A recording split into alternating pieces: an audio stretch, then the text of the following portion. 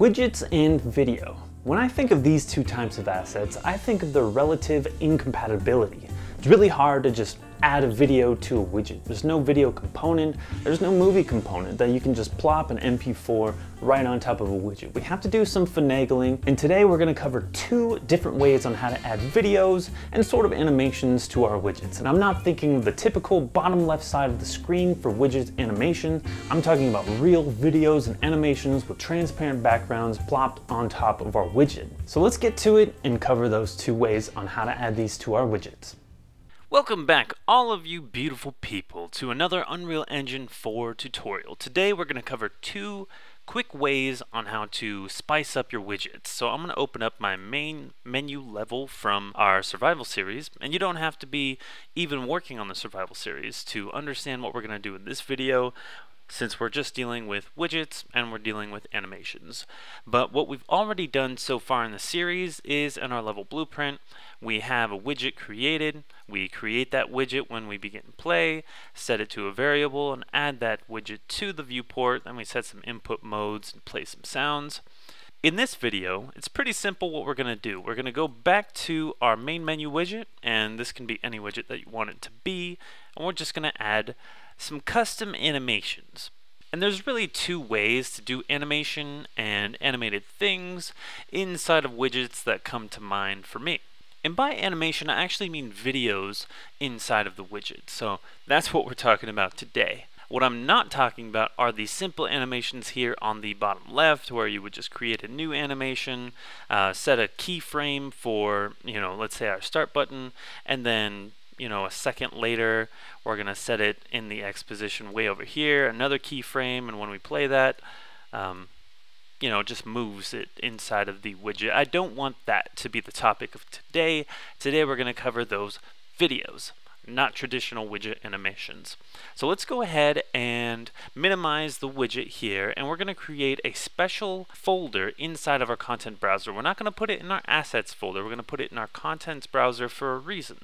Unreal and Epic Games suggest putting the movies folder inside of the content folder specifically. And that is so that these movies get picked up by all platforms since they're in a very easy to navigate location inside the content folder and into the movies folder right there. Let's go ahead and drag just any sort of MP4 video into our content browser here on the bottom. And once we do that, we'll get something called a file media source. And what we need to do from this point, because if we open it up, we're really just going to get a file path, since this is going to show where the location of the MP4 video is on our computer. It's just a directory for the engine. What we need to do is create an asset in the media type called a media player and it's going to ask us if we want a texture for this media player. I recommend always creating a texture along with the media player because you really need the texture in order to actually show the video on screen. So go ahead and do that. I'm just going to call this media player um, intro since this is an Eden Sky intro, Eden Sky being the business that I work for. And that's perfect. When we open up this media player, you'll notice that we already have that texture created since we said we do want it created. If for some reason you missed that, you can go back into your media folder, create a media texture, and then inside of that media texture, you would link up to your media player here and I'm just going to delete that really quick. Inside of our media player, we are going to play our video that we want. I don't know if you can actually hear that in the background, but this one has some audio. We're not going to be playing that audio in the widget. Go ahead and click on loop since I want it to play over and over, but if you don't want it to loop, you can leave this unchecked. And there we go. Now we have a texture with that video imprinted onto it. There's a couple negatives as far as this type of movie playing on the widgets go.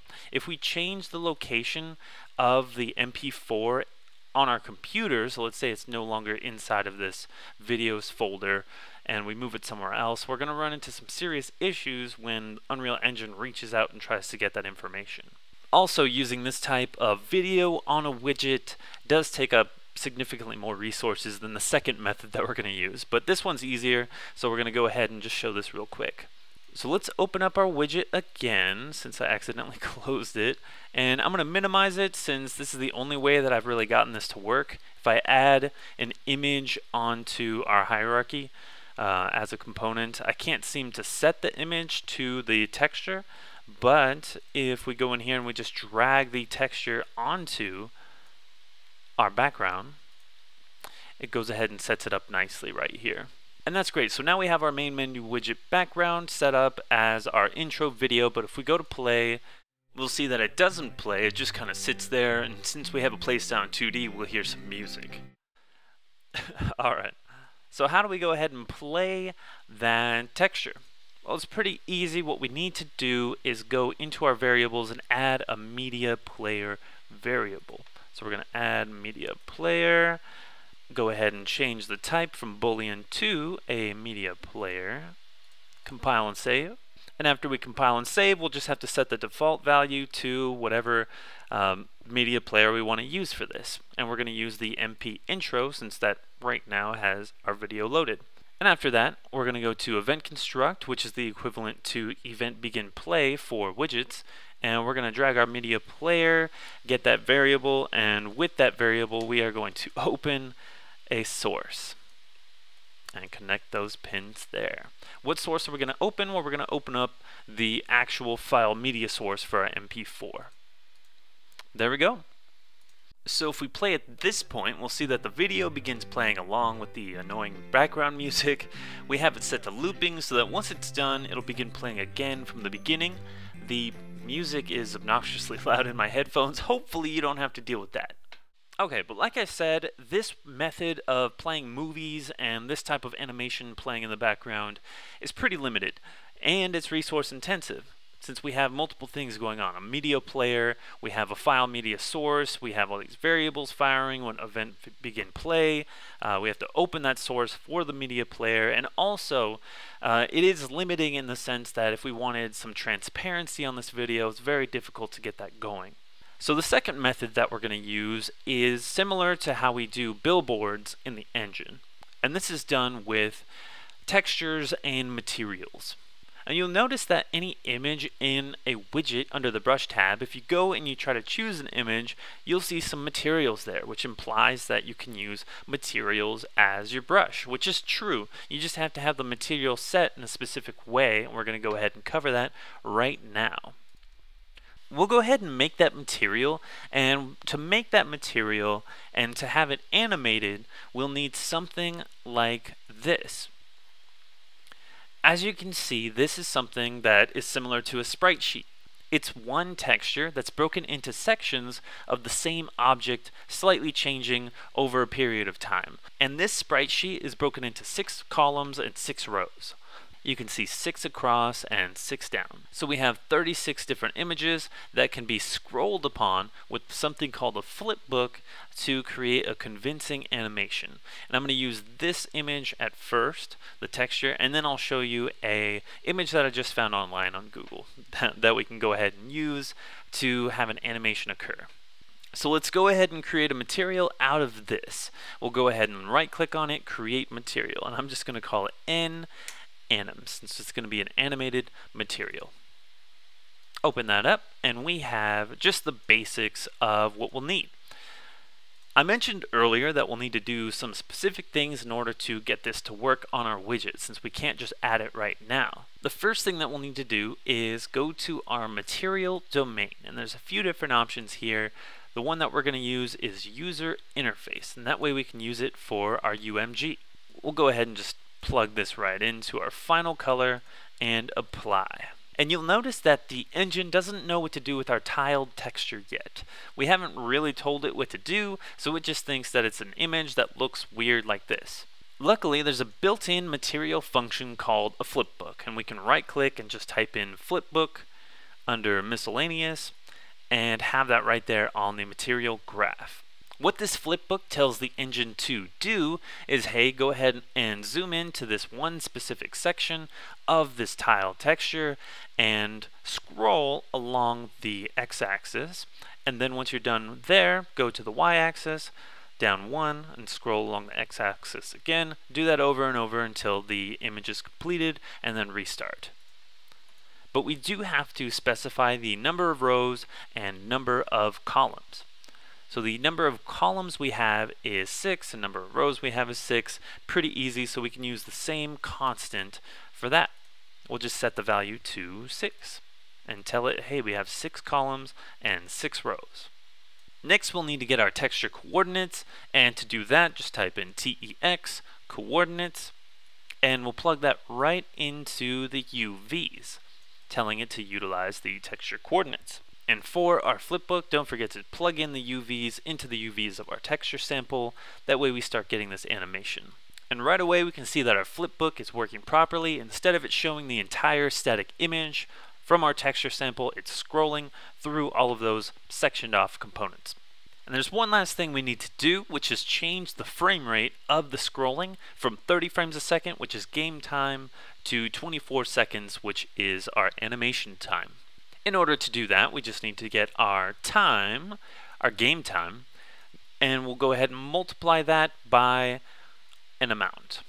We'll plug that right into animation phases, and the amount that we need to go ahead and multiply it by is not 6. We actually need to multiply it by a smaller number, a smaller number than 1, which is 80%. And 80% of 30 is going to bring you to 24 frames per second. Now we have a slightly slower animation being played. At this point, if we wanted to see this animation on our widget, we can go ahead and open up our widget again, select our image, and go to M anim plug that in. And I'm just going to do one quick thing here. I don't want the image to be parented to the background blur because then we can't resize the image. Let's go ahead and anchor it to the middle and we can stretch it out from there. I am going to change the alignment to 0.5, 0.5. That way it's exactly in the middle. But I am going to put this up near the canvas panel, not behind the background blur though. That way it is not in front of all of our uh, start game buttons and quick game buttons. Okay, so we do have a working animation on our widget, but I don't like this black background. Let's go ahead and get rid of that background, which is pretty easy. So the first thing that we're going to need to do is get a different texture. This texture doesn't have any transparency in it. The background is actually black, so there's nothing to subtract from, unless we just get rid of all the black in the image, which is not what we want to do since there's some good um, black inside of these explosions. So what we'll need to do is import another image that's tiled just like that, and I happen to have one in my downloads folder called Walking. And I just quickly got this on Google for demonstration purposes from the Castle Game Engine website. Uh, Castle Game Engine seems like a pretty interesting engine, but I mean, nothing really beats Unreal for me. Notice that this sprite sheet doesn't have a final section completed in the image that I imported into the engine. Uh, we can go ahead and open that up. I just added a copy of this last one into this bottom right. That way we don't have just a phase out of existence sort of animation. Uh, back in our material, we can change the texture if we click on texture sample and we'll go to texture walking And before we go ahead and edit out the background, we need to actually update the number of rows and number of columns. And you can see pretty easily we have 1, 2, 3, 4, 5, 6 columns and 1, 2, 3, 4 rows. So we can go back here, duplicate our constant, plug that in here. We do have 6 columns, but we only have 4 rows. And now our flipbook will be scrolling properly. And this little hitch here that I have going on, just when he freezes for a moment, is because we have three of the same frames. This last one, this uh, very last one that I added, and the first one are all the same exact pose, so it makes him appear like he just stops in time for a second. That's totally fine. Obviously, you would want a better sprite sheet for this. Um, I just used what I got free on Google, for example. So what we're going to do in order to mask out the background, like we were talking about earlier, is get our alpha, and we're going to do a 1 minus from that alpha. The alpha is everything that is not empty in our image. So 1 minus that is going to be everything that is empty. And we're going to subtract that from our regular alpha. So go ahead and plug that in. And now we can't plug that into the result node. That's because our type of materials blend mode is set to opaque, which is just a flat type of material where every bit of it has to have some sort of color and no transparency. What we want is a masked blend mode. That way we can go ahead and mask out some part of the material. And the part that we're going to mask out is this subtract node. Let's go ahead and apply that. There we go, and it looks the same inside of the material, but if we go back to our widget, you'll notice that there's no black background around it, and if we start our game, we'll have the flipbook material animation playing correctly with the transparent background of our walking character. Now this second method of adding an animation to your widget or having an animated material inside of your widget is more difficult to create since you need to have this tiled sprite sheet in order to get it to work properly. I recommend having someone that has a decent understanding of Photoshop so that you can render out your animation and have each frame of that animation tiled using Photoshop. That way you'll have a smooth sprite sheet and you can go ahead and add it to your material and make sure that the number of rows and columns are correct and that your time's correct with the same frame rate that you did the animation. Remember that the default game time is 30 frames per second. And that's really it for adding basic videos to your widgets. Remember that the second method we went over is much more performant and difficult. The first method is very limited but easy.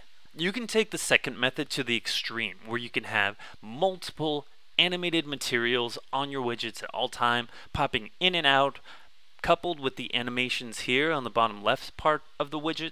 That way you have some really incredibly stylized animations on your widgets. And alright, thank you so much for checking out the video. I really appreciate you watching. Don't forget to like, comment, subscribe, all that good stuff. I'm here to help you think like a game developer, so stick around.